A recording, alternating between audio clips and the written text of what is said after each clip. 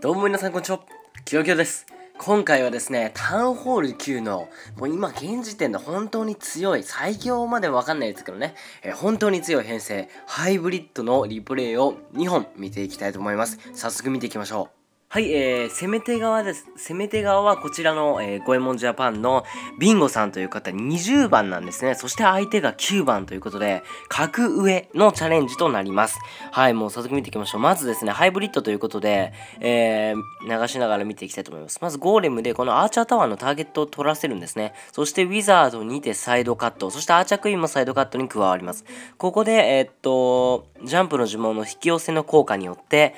中心部に、えーその侵入していくんですけれども、この時点で、アーチャークイーン、ババキン、ウィザードが少し、そして中心部には、ゴーレムもまだ生き残っているという状態ですね。さあ、ここでライトニングで勝利していきます。ここ、まあ、ライトニング、まあ、2発目ということで右に落ちると。さあ、そしてここでもう、相手の、えー援軍はもう、この時点でいないということですよね。そして、もうですね、えーちょっと、もうここの時点でもう、えー上の対空砲1本と下の対空砲1本が破壊されています。ここで巨大クロスボウも折れているんですよね。巨大クロスボウも破壊することによって、対空砲2本、そして巨大クロスボウを破壊したということはですね、もうタウンホール9でハイブリッドされたらもうね、もう負けですよ。えー、ハイブリッドじゃないわ、そのなんつうの。巨大クロスボウと対空砲2本壊された時点で、とアーチャークイーン処理された時点で、もう見てるしかないです。はい。もうこれで、もうちょっと、頑張ってくれ、頑張ってくれ、自分の村頑張ってくれって思うのは、もう無謀ですね。もう絶対にというかもう、まあ相手のね、えーうまさとかもありますけど、ほぼほぼきついです。ここでラバハウンドもですね、2体生き残ってるんですよね。レベル3とレベル2かな、レベル1か。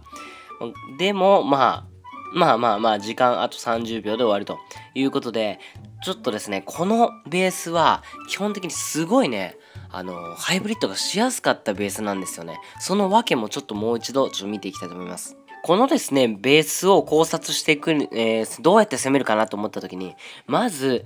えー対空砲が2本ここにあると。そして、エアスイーパーがここにあるんですよね。なので、ハイブリッドでこちらを破壊してしまえばもう空軍怖いものはないんですよ。さらにアーチャークイーンまでもいるっていう豪華3点セット。ね。対空砲、アーチャークイーン、エアスイーパー、豪華3点セットを破壊できればもうハイブリッド勝ちです。そして、先ほどもですね、言った通り、アーチャークイーンでこちらの巨大クロスボウも破壊できてるんですよね。もう、本当に、えー巨大クロスボウとかね、えーもう破壊されちゃったらもう指を加えて見てるしかないです。なので、これ配置を考える上でもですね、アーチャークイーンと、あじえー守る側のアーチャークイーンとエアスイーパーの位置っていうのは反対側に置いた方がいいと思いますね。やっぱりハイブリッドでどこから攻めてくるかっていうのは、対空砲が破壊しやすい位置からと、えーアーチャークイーンがいる側から攻めてくることが多いので、そのアーチャークイーンと反対側にエアスイーパーを置くことによって、ハイブリッドのラバハウンド部隊、空軍部隊に対してもっと嫌がらせができるかなと思いますので、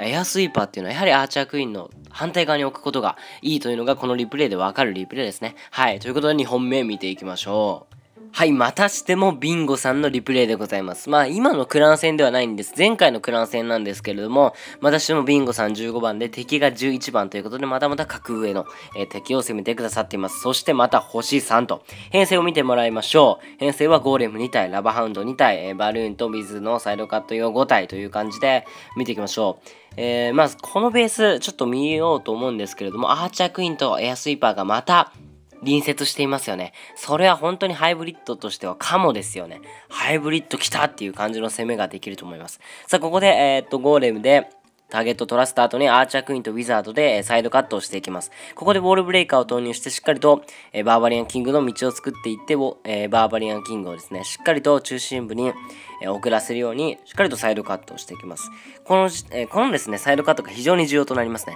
そしてゴーレムもここで1体遅らせて出しましたね。はい。えーそして、ここで、えーバーバリアンキングのアイアンフィストを発動して、相手の援軍が出てきたタイミングで、えーライトニングで勝利していくという形でございます。この時点でもうラバハンドを投入しています。まだ、えーアーチャークイーンとか、ゴーレムもいますかねゴーレムも、あれ？ゴーレムいますね、ゴーレムいますね。ゴーレムがいるんですよね、まだ。要するに、もう、えー陸で、基本的にアーチャークイーンと援軍が大体処理できたなっていうタイミングでもう空軍投入してるんですよね。そうすることによって時間切れも防げますし、さらにこの時点でアーチャークイーンがまだ生き残ってるんですよね。なので、もうもはや時間切れもないですよね。さらにもう中心部の、えー、アーチャークイーンまだ体力満タンに近いです。この時点でもう、えー、相手の防衛施設はほぼほぼありません。で、対空砲とかももうね、こんだけのね、えー、バルーンがいたらもうね、負けですよ。そして、本当にハイブリッドとしては、非常にいい形ですよね。あのー、最後まで、まあもちろんね、ハイブリッドっていうのは、最後のラバーパピーでこう、最後の、このように金庫とかをね、処理していくっていう感じですけれども、アーチャークイーンが残っていると、もし対空砲がここで1本残っちゃったっていう時もですね、アーチャークイーンがいる時の安心感、防衛施設がまだ残っている時でも、えー、アーチャークイーンがいる時の安心感というか、えー、さらに後処理としてもアーチャークイーン大活躍しますので、もうこれは本当にハイブリッドとしては一番いい形だと思いますね。その最後の最後の時にもう陸部隊がまだ残っているという状況が非常に好ましいかなと思います。まあ、これ結構うまくいってますよね。はい。今回ラバハウンドもまだもう完全に死んでいて、えー、ラバパピーになっている状態なので、そこをマネージメントしていくビンゴさん、本当にすごいかなと思います。本当にすごいと思います。もう一度見ていきましょう。まあ皆さんだったらね、まあ、えー、どこから攻めるかっていうのを考えていただきたいんですけれども、もう基本的にね、言われるのが、よく言われるのが、ハイブリッドで、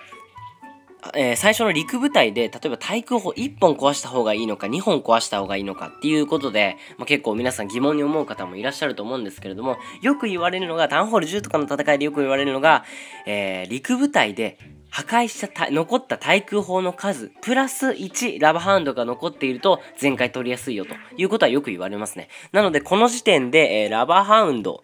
でがですね、3体なんですよね。えー、っと、あ、ラバハウンドが1、2、自分のラバハウンドが2体、そして援軍のラバハウンドが3体目が出てきました。なので、まあ、今回は対空砲が3つ残っていて、さらにラバハウンドが3体出ています。まあ、どちらがいいかっていうのは、まあもちろんラバハウンドが、3体で残っている対局法2体とかだったら先ほどの1本目のリプレイのような感じだと非常に安定すると思うんですよ。しかしまだラバーハンド生きてますからねこの時点で。まあでもここでもうほぼほぼ破裂状態と。いうことで最後はやはりバルーンにバルーンが裸の状態で受けてしまうのでやはり安定性というまあこの時点ではねもう完全にこうもういっちゃもうねバルーンがね余裕でこう対空砲の上に行ってますんで余裕ですけれどもやはり最後ラバハウンドが、えー、少なくなってしまうのでやはり理想としてはラバハウンドの数が対空砲の数よりも1体多い形、えー、対空砲が3つ残ってるんだったらラバハウンド4体ぐらい欲しいかなっていう感じでそっちのが安定するよって話ですね。でもラバハウンド4体持ってってしまうと陸部隊がゴーレム1体とかでちょっとエアスイーパーとか相手の対空砲1本あとはアーチャークイーンの処理ができなくなってしまうかなという考え方もある考えも出てきてしまうのでやはりラバハ、最初のゴーレム2体とババキン、ヒーロー、ババキンとかアーチャークイで、対空砲2本とエアスイーパーとアーチャークイーン処理することが、まあ一番の理想な的な形の、